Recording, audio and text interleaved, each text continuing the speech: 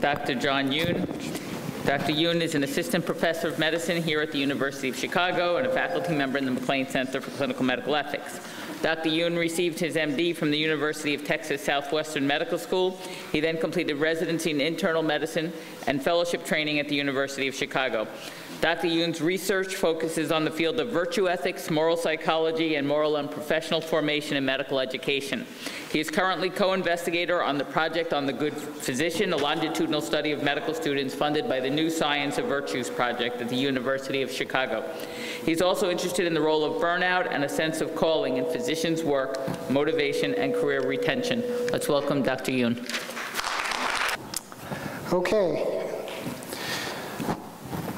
Despite uh, widespread efforts in medical schools to form good physicians through courses in ethics and professionalism, a recurring question arises, and I believe our previous speaker, Dr. Lycombe, brought it up very nicely. This question, what are the primary goals of this education? The responses to this question tend to reflect two prevailing perspectives that uh, dominate the medical education literature. These two perspectives constitute what is sometimes referred to as the virtue-skill dichotomy. In this paper, I argue that medical ethics and professionalism education uh, may be enriched by insights from the rationalist-intuitionist debate in contemporary moral psychology. After outlining this debate, I'll then briefly discuss the implications that this debate has in teaching ethics and professionalism for medical education. And I should note that this talk is a summary of a paper that we recently published last month under the same title in the Journal of Advances in Health Sciences Education. Um, I had turned it off. Okay. What are the central goals of a medical ethics and professionalism education? Opinions vary on this subject, but in our review, two perspectives dominate the literature, as I said. The first argues that teaching ethics is a means of providing physicians with a skill set for analyzing and resolving ethical dilemmas. This perspective relies on the teaching of analytical skills related to the learning of explicit ethical rules or principles in the clinical context, traditionally based on a rules and results-based approach, deontological and consequentialist ethics. The second perspective suggests that teaching ethics is a means of creating virtuous physicians. This relies on creating relationship-centered mentoring training experiences through a character-oriented, virtues-focused approach. The dichotomy uh, constituted by these two perspectives, again referred to as the virtue-skill dichotomy, appears to be firmly entrenched in the medical education literature. And despite attempts to bridge the two perspectives, um, I argue that, that medical ethics and professional ed education um, in many ways mirrors aspects of the rationalist intuitionist debate in moral psychology. In moral psychology today, approaches to moral development and education are divided into two opposing camps that are rooted in different philosophical paradigms. The rationalist camp conceptualizes moral development in a similar way as skill-based theories of ethical training in the medical literature. Both focus on the deliberate use of rationally acquired moral and ethical systems, with the rationalist camp of moral psychology focus emphasizing the centrality of conscious moral values driven by moral willpower producing moral action. In general, the rationalist approach follows the Kantian Kohlbergian assumption that good moral judgment and behavior are achieved primarily through the process of conscious, language-based reasoning and reflection. Most famously, Kohlberg emphasized language-based deliberative moral reasoning and its advancement through discussion of moral dilemmas. This approach to moral education is generally referred to as moral reasoning education uh, that intentionally target, in psychological terms, the use of cold cognitive processes. According to this approach, morality is about resolving dilemmas involving competing interests of people. And the moral philosopher Edmund Pincoffs has ruefully called this modern approach to moral education quandary ethics. The rationalist paradigm, with its emphasis on moral reasoning, has undergirded the traditional educational approach toward the teaching of ethics in medical schools, which seek to equip physicians in training with an ethical skill set for analyzing and resolving ethical dilemmas. In contrast, the recent intuitionist paradigm, like the Aristotelian virtue approach in the medical literature, posits a different kind of moral competence, one in which moral motivation, not moral reasoning, uh, as the uh, central focus of character, uh, posits it to be the central focus of character education. In this approach, reasoning and deliberation remain important. Part of being, virtuous, being a virtuous person is being able to reason in the right way about difficult and problematic situations. But intuitionist virtue theory is nevertheless a departure from quandary based ethics, which considers moral reasoning the central psychological mechanism of moral action. Rather, intuitionist models highlight the centrality of rapid, implicit, habituated moral actions that are activated more by innate moral intuitions, emotions, and virtues than by rational deliberation. According to this paradigm, moral development is primarily about the cultivation of virtue, and this approach to moral education is generally referred to as character education, one that, in psychological terms, intentionally targets the hot affective processes. In this approach, it is understood that different models of character education reflect divergent cultural, philosophical, and or religious preferences for those virtues held to be most important. In effect, what I've introduced to you in a small nutshell is a great debate of moral psychology, namely, what really motivates moral action, the head or the heart? Cold cognitions or hot affective, affective processes. Indeed, should medical educators be signing books more along the lines of Jerome Groopman's book, How Doctors Think, or more along the lines of Danielle Ofri's book, What Doctors Feel? To put it another way, I'll frame for you two predominant answers that have been given by moral psychologists. The first, the rationalist model. Most contemporary moral psychologists agree that any good moral psychological theory should be able to answer the question of moral motivation. In other words, it should be able to predict when a particular person in a particular situation will behave morally or pro socially. The rationalist model, drawing on the philosophical heritage of Immanuel Kant, would suggest that a person must first assess the eliciting situation, reason through a variety of values at stake, and then make a conscious judgment as to the correct course of behavior. Once they recognize this course and acknowledge their duty to behave morally, they draw upon an act of the will to carry out the behavior. Overall, the process is believed to draw heavily upon cold, calculated reasoning. Indeed, to the, effect, to the, extent that affect is seen to be part of moral motivation at all, it is merely as one of the inputs into the reasoning process, and it remains the job of conscious reasoning to objectively weigh its merits against other considerations. It is this model of moral decision making that serves as the basis for many um, professionalism and ethics courses traditionally. Learn the codes, ponder the ethical dilemmas to which they apply, deliberate over the prioritization of one or more values, make a judgment, and do the right thing. However, this theory has now received three decades of critique, largely due to its inability to reliably predict actual moral behaviors and judgments. In contrast to this theory is the intuitionist model, in, the, in this model, the first step of moral decision making is not reasoning, but it, it is instead the triggering of a moral intuition. Moral psychologist Jonathan Haidt defines a moral intuition as, quote, the sudden appearance in consciousness of an evaluative feeling, like or dislike, good, bad, disgust, admiration, about the character of, or actions of a person without any conscious awareness of having gone through the steps of a search, weighing evidence, or inferring a conclusion, end quote. Such intuitions can be thought of as sort of a moral radar which scans the environment for morally relevant stimuli and which typically bypass systems of higher level thinking. These intuitions then typically give rise to more robust moral emotions, the affect, which in turn provide the motivational force in triggering, triggering moral behaviors.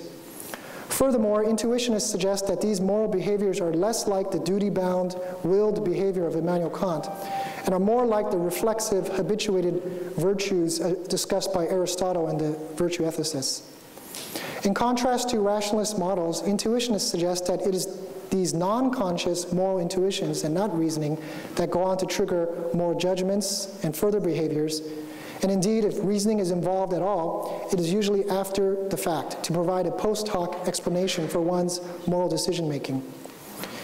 Intuitionists would admit that while private reasoning can influence judgment under circumstances, such circumstances are both unusual and infrequent in their view.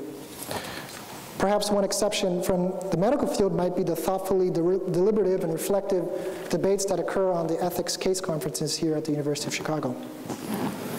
And yet, in contrast, most of the daily decisions of the medical practitioner are of an entirely different nature how to respond to a patient in crisis, when to slow down and spend time with the patient, when to speed up to manage the next crisis. These are fast, intuitive, relationship centered responses to patients and coworkers that occur rapidly and often without significant deliberate thought, at least on our wards. Over the past 15 years, there has been a growing body of evidence to suggest that this intuitionist model explains a great deal of our moral decision making in practice. In the context of this rationalist intuitionist debate, our colleague Michael Leffel has developed a moral intuitionist model for medical education. In this model, he suggests several practical implications, specifically for the teaching of medical ethics and professionalism. And this approach proposes that character development is best accomplished not so much by learning explicit rules and principles in the formal curricula. Rather, he argues that character development is best accomplished by tuning up moral intuitions, amplifying moral emotions, and strengthening moral virtues. And moral development of this sort calls for the immersion of persons in environments rich in exemplars and in narratives that embody the intuitions that, that persons wish to habituate. Applied to medical ethics and professionalism education, this would suggest that training programs uh, might consider designing curricula and training experiences that intentionally target the activation and repetition of moral intuitions. This would likewise suggest that programs pay particular attention to the institutional culture in order to mitigate the insidious and often negative emotional experiences in the training environment, otherwise known as the hidden curriculum. The hidden curriculum is often perpetuated by negative role models that inhibit the experiences of positive moral emotions at work in their trainees. This would suggest that programs should consider designing practices and experiences that intentionally expose trainees to exemplars in an attempt to facilitate virtue mimesis. For example, some have argued for an educational model of formation in which lives of service are created and sustained in intentional learning communities that link the lived experiences of mentors and learners with an interdisciplinary set of didactic materials. Schools which have adopted a similar model of moral formation tend to emphasize the use of narrative, the creation of a rich, of a rich community of learners, both with faculty and students, and intentional reflective processes in a longitudinal curricula that foster an, uh, that foster an apprenticeship, apprenticeship model of medical education, perhaps something similar to what's going on in Nepal. Having sketched the relevance of the rationalist intuitionist debate for medical education, I therefore make the argument that this education could be enriched by the incorporation of theoretical insights and empirical findings from contemporary moral psychology. Future studies should establish the validity of this virtue centered approach to ethics and professionalism education. And this research should explore whether character formation is indeed best accomplished by tuning up moral intuitions, amplifying moral emotions, and strengthening moral virtues. Such an approach posits that intuitions, emotions, and virtues, and not necessarily ethical principles and moral reasoning, uh, are the central mechanisms of moral action, and therefore perhaps it could be the focus of education in medical ethics and professionalism in medical schools in the years to come. Thank you.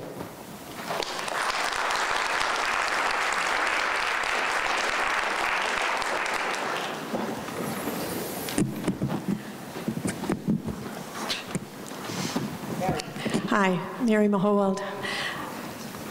I guess I don't see your presentation, which I thank you for. It was very thorough and helpful, but I don't see it as an either or. Yes, I, I would agree with Neither do I see even both of those orientations Yeah. as adequate to link between thinking and feeling, which I don't think are really separable Yeah. in human beings, and action. Morality is action. Ethics is intellectual or cognitive. Teaching is a cognitive enterprise. And what really dawned on me as absent in both models Yeah. is what we keep emphasizing as a community uh-huh. autonomy. When I used to teach ethics, even to undergraduates, sometimes I used to say, now look, you can ace this course and go out and be more of a moral scrounge than you used to be. because now you've thought about what you're doing and, and you choose to not do it or do it. Mm-hmm. So it seems to me either model, when we're, I guess maybe what I'm saying is, maybe we can teach ethics, mm-hmm. but we can't just teach morality. Yeah. Autonomy is the crucial link between what we think and feel and what we choose to do. Right.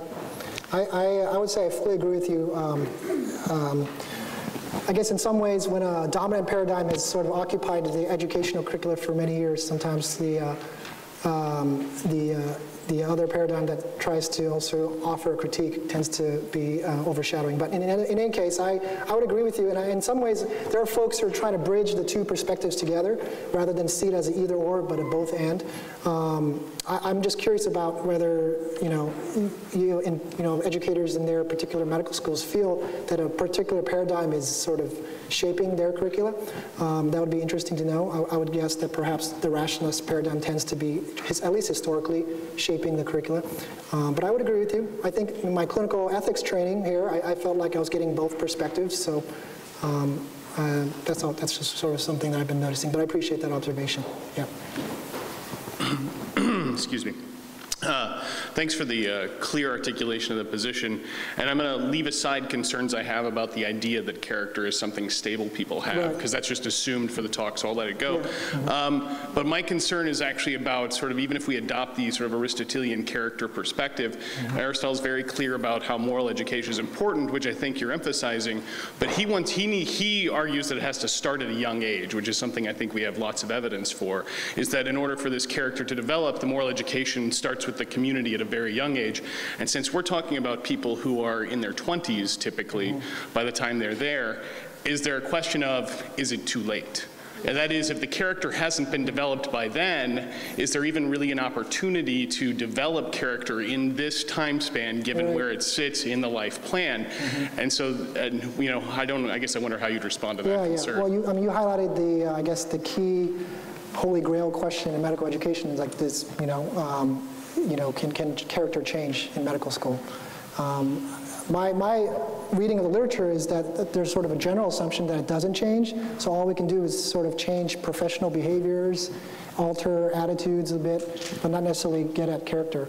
Um, I don't, I'm curious to hear what other people think. Um, can adults change? I mean, uh, is that an ethical question, or is that from a different discipline that we should be talking about this? But Hi, Dan Brudney, University yeah. of Chicago. John, thanks for a lovely talk. I think um, what puzzled me about it, and I just hoped you'd say more, is that I would have thought both Kant and Aristotle would be on the character side of the dichotomy, but they would have different visions of what um, a person of good character would be like, and this may have relevance to the previous question. Um, for Kant, it would not, good character although there's currently debate in the literature about this, but it was standardly thought that a Kantian person of good character um, doesn't require a set of affective characteristics, um, but does require a settled commitment of the reason to act out of respect for the moral law. And this is something that presumably could be done um, lightning fast. They don't need to go through uh, each time a long bit of cerebration, and what would count as a good character is someone um, whose will is of a certain kind and reliably always of a certain kind. Um, whereas Aristotle does demand um, something more robust in terms of having certain kinds of feelings, certain kinds of responses, and so forth. And so that's for him the difference between someone who is merely, as he puts it, continent and someone who's really virtuous. But each thinker is, in, in their different ways, focusing on the thought that what they, what's crucial is to be a person of good character. And so I would sort of think that what those who want to develop physicians of good character need to try to specify is the content of a good character, what they mean by that, and that would go to the issue of whether um, what counts on this view of a good character is the sort of thing that can still be taught to you know, 20-somethings. Mm-hmm. Well, since um, I would say everything that I know about Kant and Aristotle came from you, since you're the, you were my teacher, I'll, I'll just defer to that and appreciate that observation.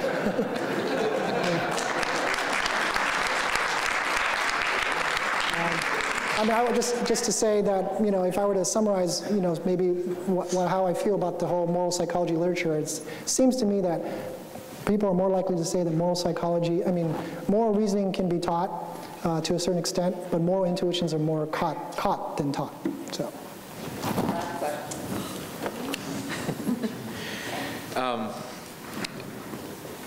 So I have like 100 questions buzzing around in my head. Um, I'm, I'm wondering about uh, the role of larger narratives rather than the case studies in the kind of education you're talking about. And if, um, I don't think Aristotle was this pessimistic uh, about adults being changed, and, and that's part of the reason he spent so much time talking about friendship and things like that. Um, but I wonder about things like um, not just mentors, but, uh, um, but narrative display and how that would work out. And I'm also wondering about some of the, the, the thinking and virtue thought that um, emotions are actually themselves um, judgments of fact, or at least partially, that that's partially what they are, is they're judgments of fact. And so that emotions are changeable, educational, uh, educatable, um, because they are, at least in part, judgments about what's happening, right? And so that would at least suggest that uh, adult education is, is, is possible, even if it's slower than childhood education. But, so I wonder about all that stuff, but I also just wonder, does some of this then suggest that these criteria should be part of the admission process? That is, that we're looking more seriously at the, the character of people who are admitting and the formability of their character? yeah, yeah.